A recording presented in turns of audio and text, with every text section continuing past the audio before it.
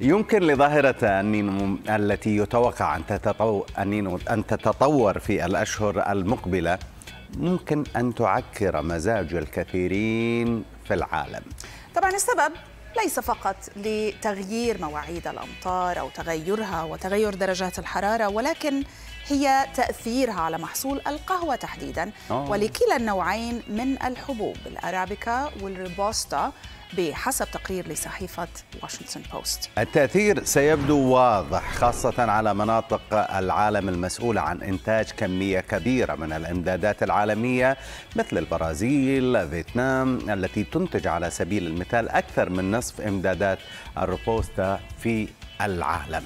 بالتالي كل هذه التغيرات ستنكع... عفوا ستنعكس على فنجان قهوتك الصباحية والمسائية.